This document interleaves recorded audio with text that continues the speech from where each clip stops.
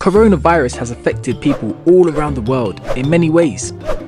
Businesses have also been hit, with mental well-being being at an all-time low, and working from home can also have its own challenges.